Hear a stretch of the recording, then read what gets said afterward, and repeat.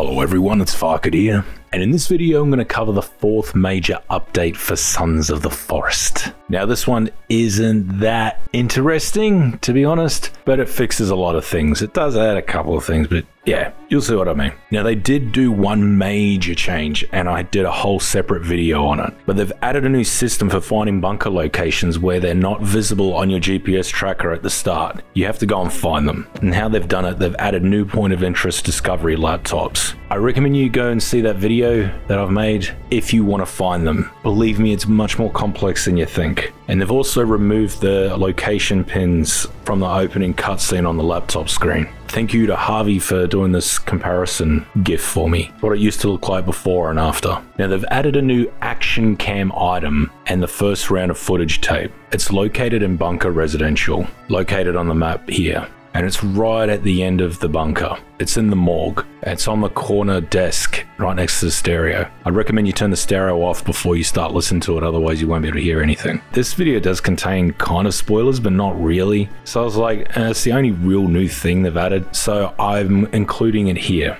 but I'm not just showing you the footage on the camera. Harvey sent me the extracted video file so I can show you in its full resolution. Here it is.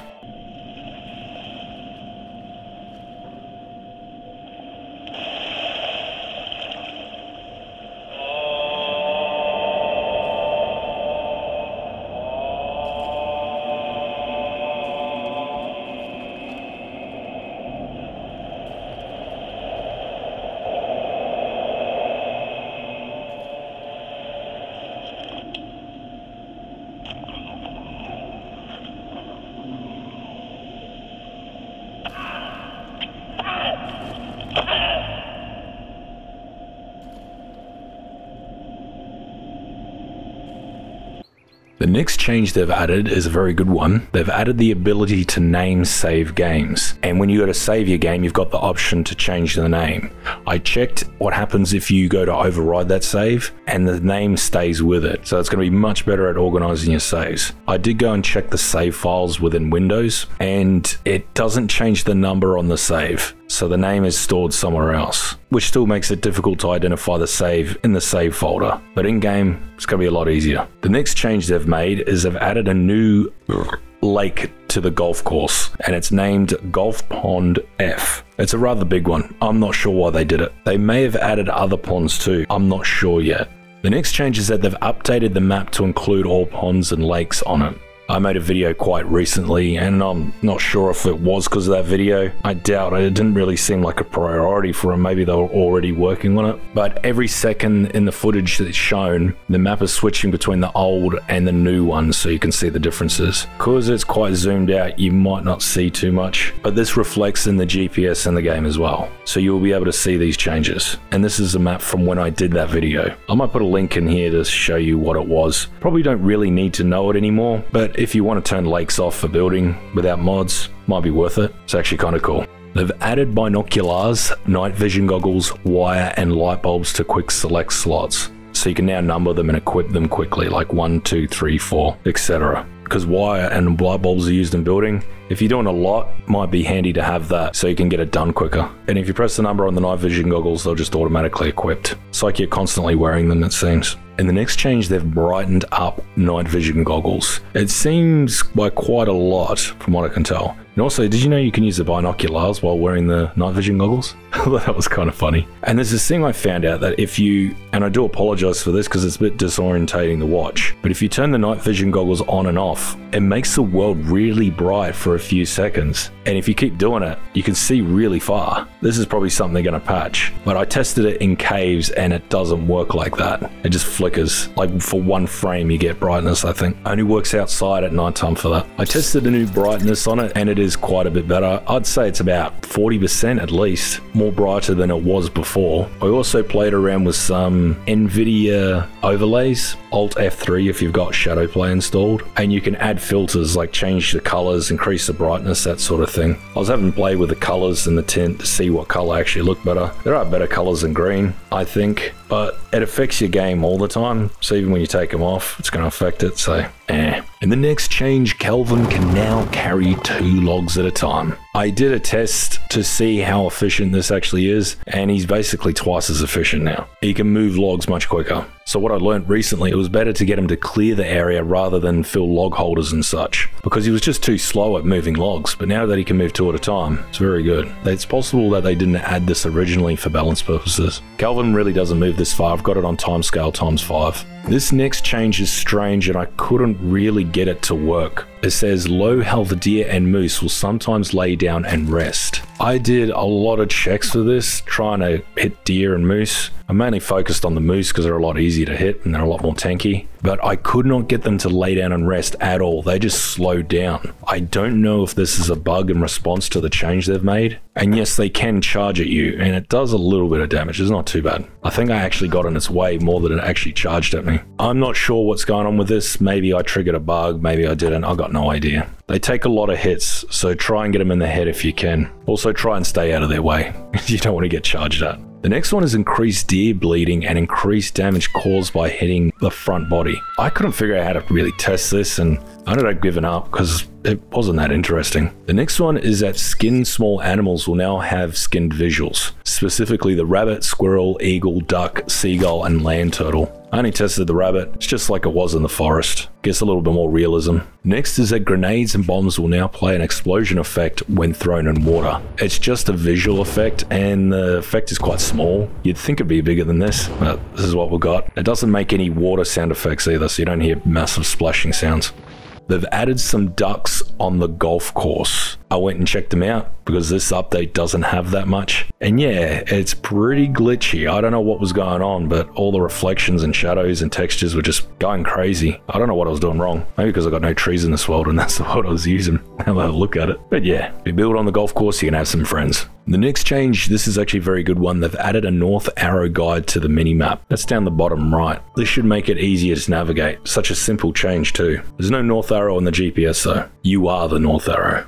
In the next change, animal hide and tech mesh will now be grayed out on the grab bag when interacting with an armor rack. I covered this in the last update when they've added the armor rack in. It showed that you could add it, but it would just glitch out. It didn't do anything. It was just a bug. And yeah, still a positive change, I guess. They've added a harsh slope limitation to block riding the Knight V up steep slopes. I did a test on it. It still can go up pretty steep slopes, I think. I went up the big mountain in the middle of the map but it does reach a point where it just stops. So it is a bit of a limitation. It doesn't slow down, it just stops. And I tried turning it around and reversing up to see if I could glitch it that way, and it just didn't move. So they're already nerfing the Knight V. It's probably to stop people glitching. The next changes affect Virginia. There's three. Virginia's GPS will now retain the assigned icon when given to her. She visits more often if she has a good affinity with you, and she goes to more waterfalls. That's the annoying part. She just pisses off and goes and does whatever she wants. I guess they're giving her a personality. Now, to get the GPS to retain the assigned icon when given to her, I spent probably five minutes trying to figure out how to do this because you can't just take it off and put it back on.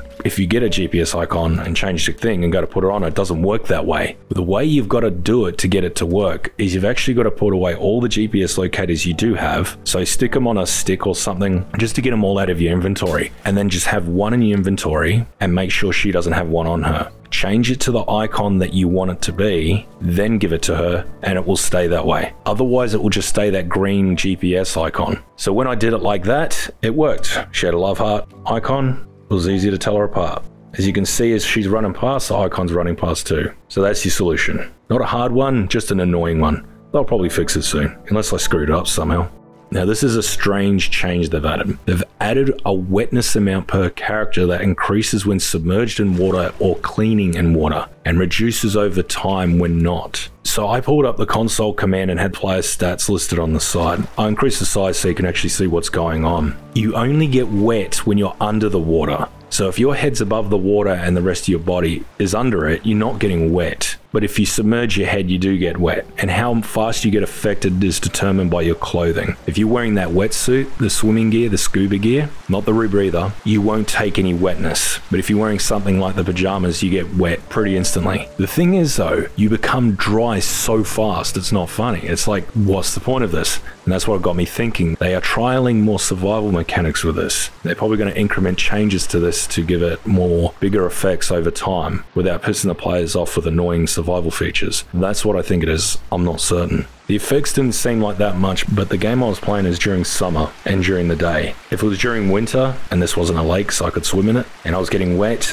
I'm sure it would have some pretty negative effects on me. Let me know what you think this might be, but I'm pretty sure it's a survival feature they're going to be working in progress. Now the next one is all the freeform building changes and they're mostly fixes. There's nothing new that's been added. But what I've done is I put them all together and I've put them on the screen right now. You don't have to read them. I've already read them and I can't make sense of just about any of them. It is so difficult to understand the building system in this game, even when they're explaining it through patch notes. I don't know, I might be wrong, but looking at it, I'm just getting confused. So I'm assuming they're good things because they're fixes. Unless you've got some insight, let me know in the comments. But otherwise, I've got no idea. However, I did find a strange bug. If you place a half log underneath, it does this weird chopping off thing and hanging down. It's really weird. I don't know if that's new or not.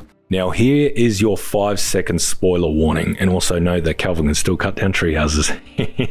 The next change is longer Timmy fighting demon boss intro animation, and it triggers when you get fairly close to him. Usually it's not this bright, so there's a good chance you're going to miss most of it. I think they might need to work on it because they probably spent a long time trying to animate this to make it look good, or maybe they're just counting on you not seeing it. But it does look pretty good. What it shows is that Timmy can beat the absolute crap out of this demon boss. So Timmy's still got mutant powers it seems. He grabs it by the head and smashes it quite funny to watch, but then he gets yeeted into the cave hole, and that's where he pisses off and he leaves you to fight the boss. Now, the next thing isn't a change, but I found a cheese you can do, and I wasn't even looking for a cheese, and I found it. So what I found out is that if you try to escape through the cave hole slide thing, I was heading down towards Timmy because I was going to see if there was any changes to the ending, and I heard a bang behind me.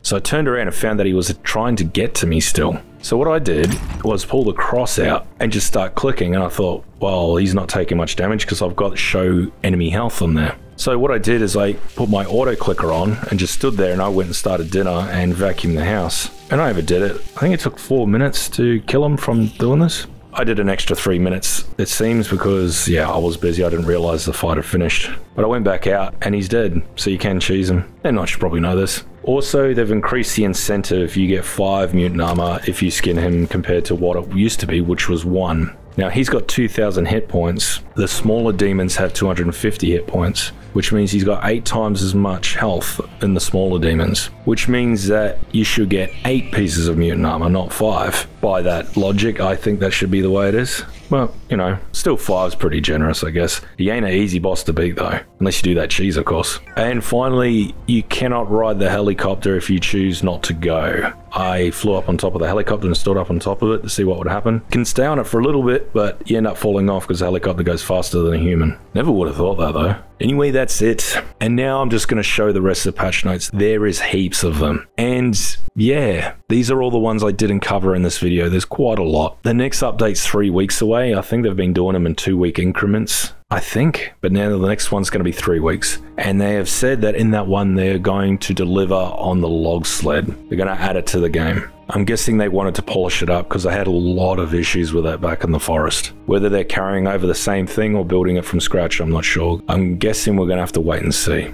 Anyway, if you like this video, make sure you like and subscribe. Cheers.